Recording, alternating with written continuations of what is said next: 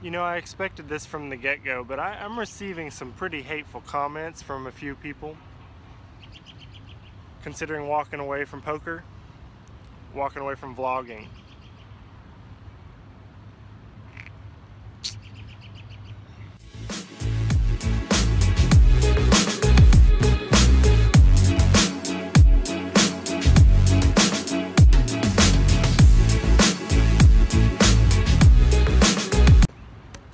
What's up? Like I would do that. This has been awesome, you know? I get a lot of constructive criticism on a lot of these hands I've been playing lately. Couldn't be better. Love it.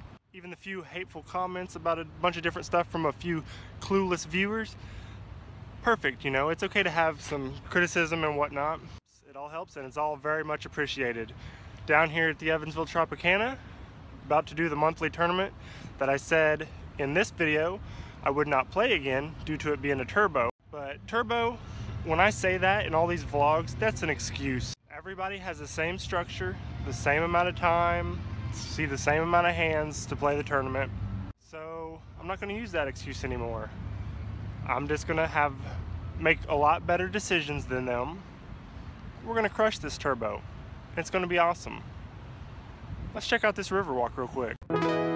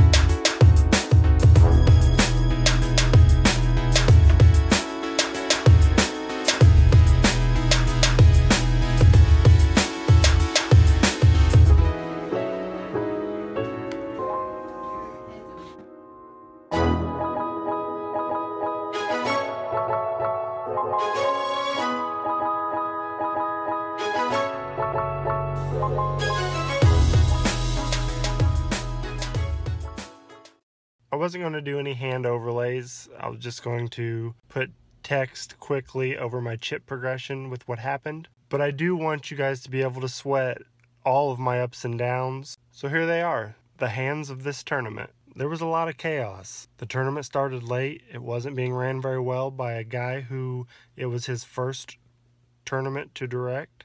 And I admittedly was paying more attention to what all was going wrong than to the happenings at my own table. With that being said, very first hand, small blind, Jack 9 of spades. We have a limp fest. First hand, I just want to see a flop. With this and the small blind, I don't want to do anything too crazy, so I check. The big blind checks. And we see a Jack nine seven two club flop. Two pair right off the bat, you know, with straight draw potentials out there and flush draw. I check. Let's see what everybody else is going to put in. The big blind checks, and the guy in middle position bets out 300. It folds around. I call 300 here. A little weak because I am definitely letting flush draws and straight draws get there on the turn, and the big blind had folded as well. The turn's a three of spades, nice little blank. I bet out 700, a little more than half the pot, because at this point, I don't want to just allow a draw to get there. And he calls the 700.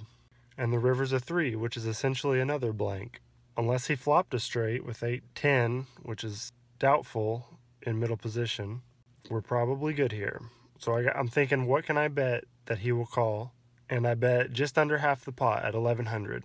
He had to think about it, but he did make the call. And he showed Jack 6, so I got the higher two pair. And he said it was a good bet, so I think if I would have bet a little more, he may have folded. And that's how we like to start off the tournament, winning the very first hand.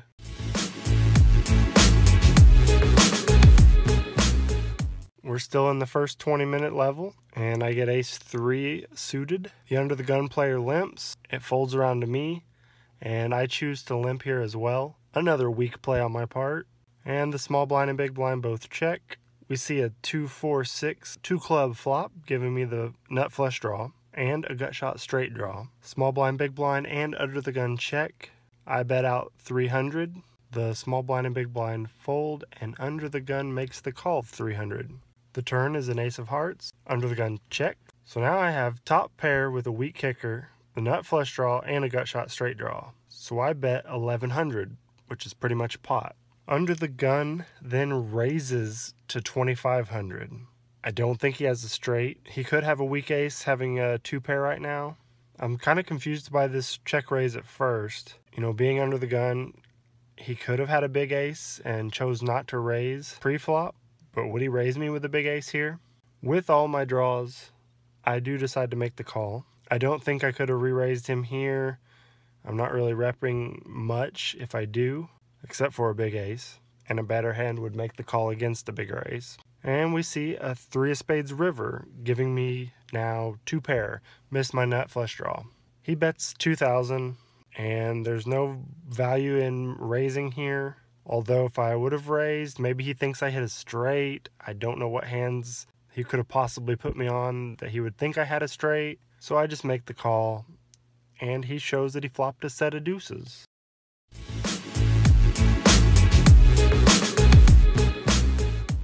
A few hands later, we get ace queen off under the gun. As my stack size is already diminishing, I decide to raise to 300 here. The dealer and the small blind both call 300, and the big blind folds. The flop is 2 9 10 rainbow. The small blind checks. I bet out a little over half the pot, 700. The dealer calls 700. And the small blind goes crazy and bets something like 3,000. It was more than the pot. I think for a short time and just fold it. The dealer folds and the small blind mucks his winner.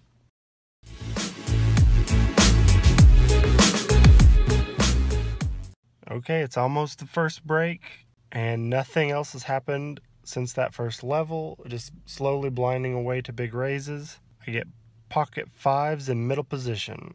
Played the hand wrong from the get-go you know, with less than 10 big blinds, I should just shove here with the folds in front of me, try to pick up the 900 chips, but I don't.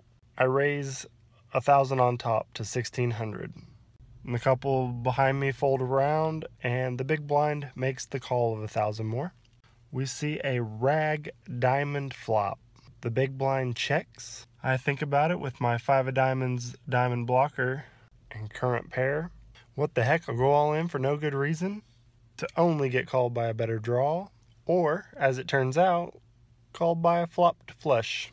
I would need runner runner to survive the tournament, and I couldn't even tell you what the cards are.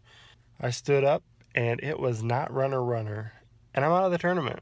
Officially, the last time I play that Turbo Monthly. And we're out. It was it was a joke of a tournament. We are saved by the bell during editing. I really liked the beginning of this vlog. The tournament play was very unfortunate. I was so distracted, couldn't get anything going. So instead of letting you listen to me rant about the tournament director and then the dealer mistakes, I want to show you what I just saw. The Horseshoe Southern Indiana will now be having monthly deep stack tournaments at the end of each month. That's phenomenal news. finally a tournament I could get behind. Two and a half times the starting stack of the Trops monthly, double the price, more time per level, and a lot better structure with some steps involved instead of just doubling. I don't know if I need a group to challenge some people. There will be nine of these this year, you know, not the month that they have the World Series circuit. But I want to see how I do over the nine.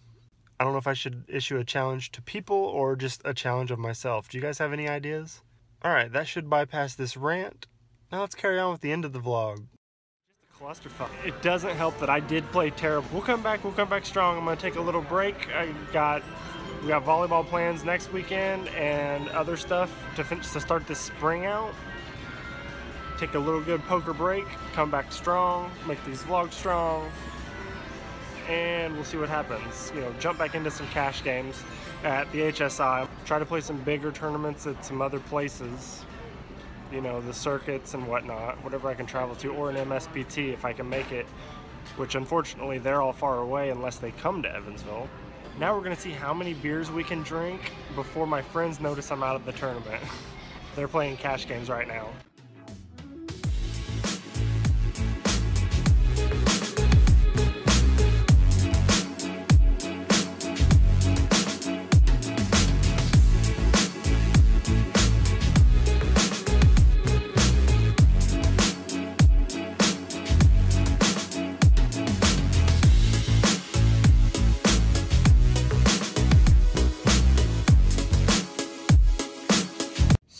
Heading home.